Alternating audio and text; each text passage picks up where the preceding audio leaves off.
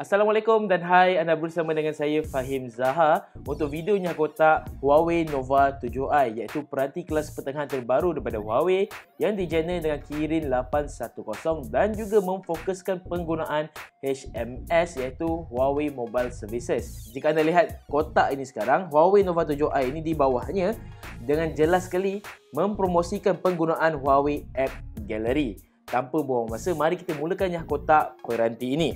Peranti ini di China adalah Huawei Nova 6 SE. Manakala untuk pasaran Eropah pula adalah Huawei P40 Lite. Jadi untuk pasaran Malaysia, ia menggunakan jenama Huawei Nova 7i. Untuk memori pada peranti ini, ia menggunakan RAM 8GB dan storan dalaman 128GB. Okey, baiklah. Buka saja kotak. Kita akan lihat peranti itu sendiri dalam satu plastik. Kemudian kita akan lihat apa yang ada dalam kotak kecil ini iaitu kerangka lembut yang dibuat dari plastik ataupun silikon, simpin, tiada sebarang kertas kerja atau kad waranti, pengecas supercharge 40 watt, kabel USB-A kepada USB-C, set phone telinga yang biasa.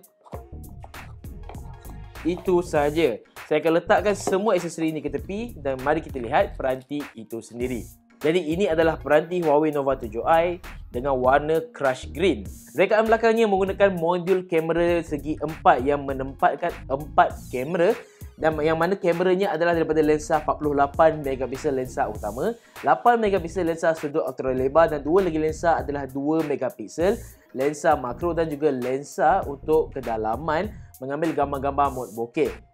Di bawahnya ada LED flash dan terdapat tulisan AI Quad Camera. Ini bermakna peranti ini turut akan menggunakan sistem AI daripada Huawei sendiri. Warna peranti ini adalah crush green. Ia tidak mempunyai kemasan warna cerut seperti peranti Huawei ataupun Honor yang lain. Sebaliknya, ia mempunyai satu pantulan berwarna hijau yang lebih cerah dan lebih berkilat apabila anda menggerak-gerakkan peranti ini mengikut arah cahaya.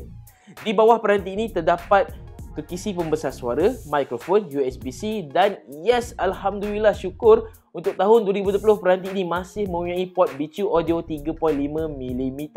Di bahagian atas terdapat mikrofon, di bahagian sisi kanan terdapat butang arah suara dan juga butang kuasa yang turut berfungsi sebagai pengimbas cap jari di sisi kiri mempunyai slot kad SIM yang turut mempunyai slot kad memori NM daripada Huawei sendiri. Di hadapan adalah skrin dengan rekaan yang menyeluruh dan juga kamera swafoto 16 megapiksel dalam rekaan skrin berlubang. Skrin Huawei Nova 7i ini adalah 6.4 inci LCD dengan resolusi Full HD+. Ia juga menjalankan EMUI 10 berasaskan Android 10. Jadi apakah yang menarik dalam peranti ini? Jom kita lihat. Selesai sahaja saya menghidupkan peranti ini, anda akan lihat di bahagian notifikasi ini ada notifikasi yang menyatakan peranti ini menjalankan sistem operasi ujian ataupun beta kerana ini adalah non-official version dan juga masih dalam mode beta. Ini bermakna peranti kelas pertengahan ini menjalankan EMUI 10 yang masih sedang diuji. Jadi ada kemungkinan fungsi-fungsi yang anda lihat dalam video ini tidak akan disertakan dalam fungsi akhir ataupun binaan akhir apabila peranti ini mula dijual secara rasmi. Saya lupa sebut tadi, skrin hadapan ini terdapat dagu yang agak besar dan sedikit menjengkelkan kerana peranti ini dilihat secara keseluruhan tidak begitu sekata. Tapi usah risau kerana secara keseluruhan peranti ini masih lihat akan memberikan pengalaman yang lebih imersif. Peranti ini menjalankan UMS 10 berasaskan Android 10 dengan HMS secara keseluruhan yang mana ini adalah peranti kelas pertengahan premium pertama Huawei pada tahun ini yang menggunakan HMS sepenuhnya tidak seperti tahun lepas yang masih ada saki baki Google Play Services. HMS pada peranti ini adalah satu pengganti ataupun alternatif kepada penggunaan Google Play Services. Jadi banyak aplikasi akan boleh dimuat turun melalui Huawei App Gallery. Antara muka kameranya adalah seperti mana-mana peranti Huawei yang lain yang mempunyai sokongan mode malam, sokongan mode portrait yang mana ada mode kecantikan yang boleh diubah hidup atau mati mode video yang biasa kemudian ada pilihan super macro, moving picture, light painting dan juga mode fotografi profesional yang mana anda boleh membuat kawalan manual dan sebagainya. Dalam mode foto ini anda akan lihat terdapat butang untuk anda laras daripada mode wide angle, mod biasa dan juga boleh digital zoom sehingga 6 kali.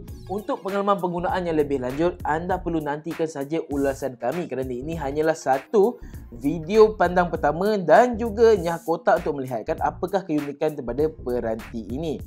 Peranti ini menggunakan kapasiti bateri 4200 mAh yang mana agak besar dan juga mempunyai sokongan pesiar pantas Huawei SuperCharge 40W yang mana pengecas ini turut disediakan di dalam kotak. Ini adalah agak baik kerana untuk harga peranti yang bawah RM1,100 terdapat sokongan pengisian pantas yang mempunyai sama tahap dengan peranti-peranti mercu di pasaran sekarang.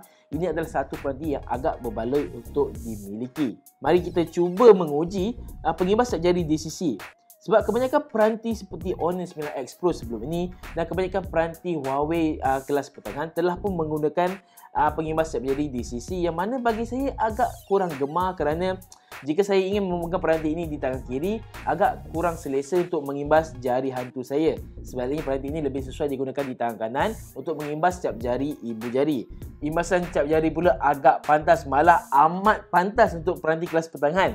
Perkara menarik lain yang terdapat pada peranti ini adalah pengalaman penggunaan Android 10 yang mana tidak banyak peranti kelas pertengahan yang sudah pun menjalankan Android 10. Seperti anda sedia maklum, Google baru-baru ini telah pun melancarkan Android 11 Developer Preview yang mana lebih awal daripada sebelum ini tidak dinafikan kemungkinan besar Android 11 akan dilancarkan pada tahun ini juga. Jadi peranti ini dilihat tidak ketinggalan untuk satu peranti yang bawah 1100 kelas pertengahan untuk menggunakan Android 10.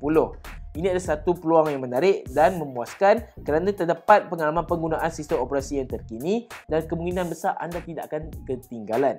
Peranti ini seperti yang saya katakan tadi dijual di Malaysia pada harga RM1,099 dan adalah antara yang pertama peranti kelas pertengahan premium daripada Huawei yang menggunakan HMS sepenuhnya. Jadi itu sahaja daripada saya Fahim Zah. Jumpa lagi dalam video Aman akan datang. Assalamualaikum.